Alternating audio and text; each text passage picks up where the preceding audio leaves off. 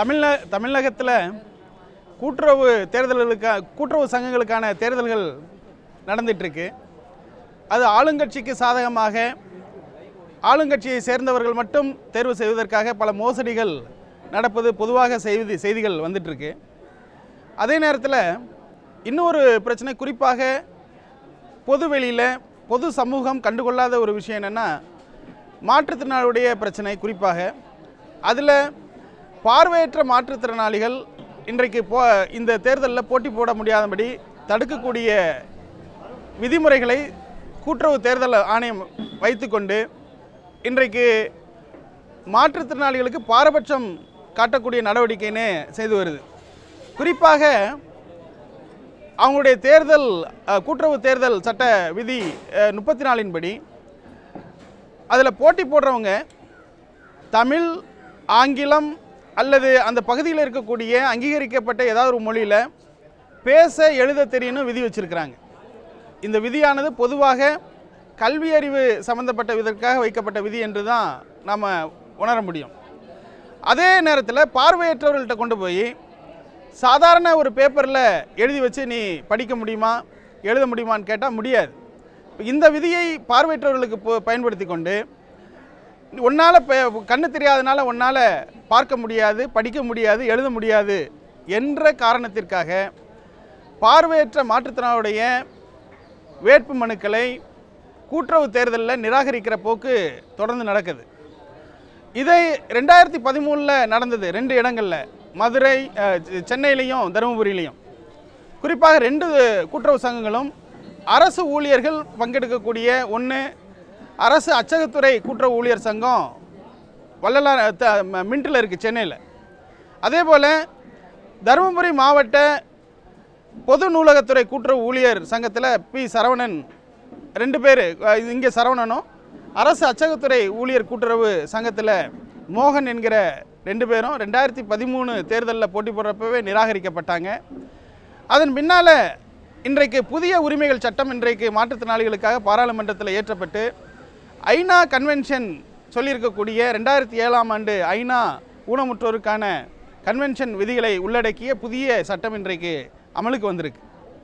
அந்த சட்ட விதிகளின்படி மாற்றுத்திறனாளிகள் பாரபட்சம் காட்டக்கூடாது. மாற்றுத்திறனாளிகளுக்கும் ஏற்ற வகையில் அவங்களுக்கு தடையில்லா சூழலை உருவாக்க வேண்டும்.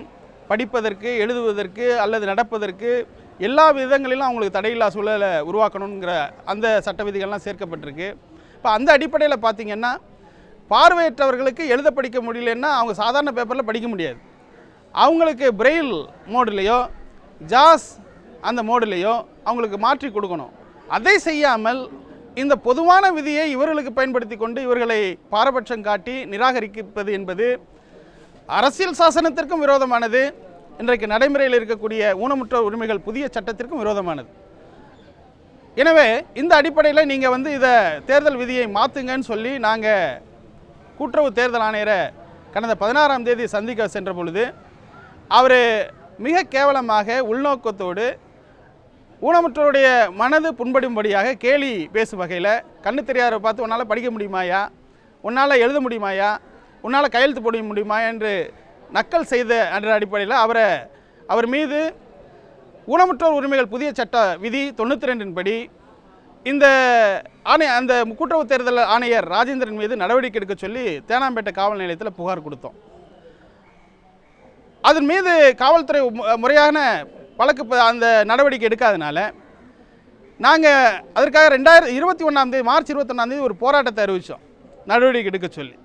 அந்த நேரத்தில் அந்த வழக்கை வாபஸ் வாங்குவதற்காக ஒரு உள்நோக்கத்தோடு ஏதோ ஒரு புதிய உத்தரவை மாற்றுத்திறனாளிகளுக்கு சாதகமாக அவருடைய வேட்புமனுக்கள் நிராகரிக்கப்படாமல் இருப்பதற்கு வசதியாக செய்வது போல மாவட்ட அந்த தேர்தல் நடத்தும் அதிகாரிகளுக்கு ஒரு புதிய உத்தரவை கூட்டுறவு தேர்தல் ஆணையம் அனுப்பிச்சது. அதில் என்னென்னா வேட்பு அதாவது மாற்றுத்திறனாளி என்ற காரணத்திற்காக அவங்க வேட்புமனு செய்கிற பொழுது அதை வாங்காமல் நிராகரிக்கக்கூடாதுங்கிற ஒரு வார்த்தையும் ஒரு சென்டென்ஸும் மாற்றுத்திறனாளிகள் போட்டு போ அவங்க மாற்றுத்திறனாளிகளுக்கு தேவையான வசதிகளை செய்து கொடுக்க வேண்டும் என்ற அந்த ஒரு வரியும் போட்டு அந்த வார்த்தை இதை கொடுத்தாங்க.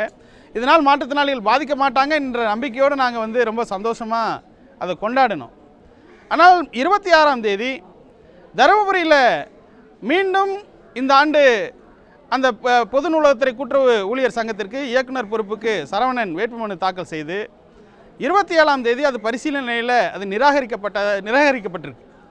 அதற்கு இதுவரையும் எழுத்துப்பூர்வமாக என்ன காரணத்துக்காக நிராகரிக்கப்பட்ட பட்டதுங்கிறது இதுவரையும் சொல்லலை.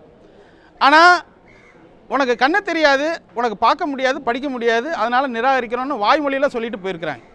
இது சட்டவிரோதமானது. தேர்தல் ஆணையர் இருபத்தி ஒன்றாம் தேதி கொடுத்த அந்த வாய்மொழி உத்தரவு அந்த எழுத்துப்பூர்வ உத்தரவு அந்த சுற்றறிக்கைக்கு எதிராகவும் இருக்குது ஏற்கனவே இருக்கக்கூடிய உரிமைகள் சட்டத்திற்கும் அரசியல் சாசனத்துக்கும் விரோதமாக இருக்குது எனவே இதை நிவர்த்தி செய்ய வேண்டும். குறிப்பாக சரவணனுடைய வேட்புமனு ஏற்கப்பட் ஏற்கப்பட வேண்டும். அதே போல் எந்த ஒரு பார்வையற்ற மாற்றுத்திறனாளருடைய வேட்புமனுவும் ஊனத்தை காரணம் ஊனம் ஊனத்தின் ஊனத்தின் அடிப்படையில் நிராகரிக்கப்படக்கூடாது என்கிற விதிமுறையை தமிழக அரசு உருவாக்க வேண்டும்.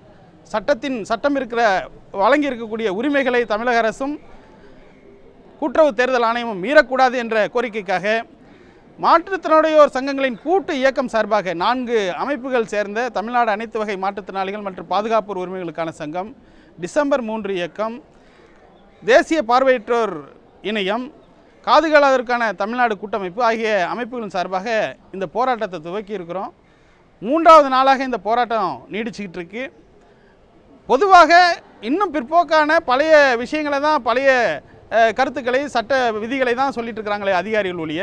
புதிய சட்டத்தின்படி இன்றைக்கு ஐநா சாசனம் சொல்லியிருக்கிறபடி புதிய உரிமைகள் சட்டம் சொல்லியிருக்கிறபடி அந்த புதிய விதிமுறைகளை மாற்றுவதற்கு இன்றைக்கு அவங்க தயாராக இல்லை. எனவே இந்த பேச்சு இன்று நடைபெற்ற பேச்சுவார்த்தை உட்பட தோல்வியடைந்திருக்கு. எனவே எங்களுடைய கோரிக்கை நிறைவேறும் வரை ஊனமுற்ற மாற்றுத்திறனாளருடைய உரிமைகள் நிறைவேற்றப்படும் வரை குறிப்பாக இந்த கூட்டுறவு தேர்தலில் பார்வையற்றவர்கள் அவங்களுடைய வேட்புமனுக்கள் நிராகரிக்காமல் இருக்கவும் இந்த சரவணுடைய நிராகரிக்கப்பட்ட வேட்புமனு ஏற்க வர வரையும் எங்களுடைய போராட்டம் தொடர்ந்து கொண்டு இருக்கிறது என்பதை இந்த நேரத்தில் நான் சொல்லிக்கிறேன்.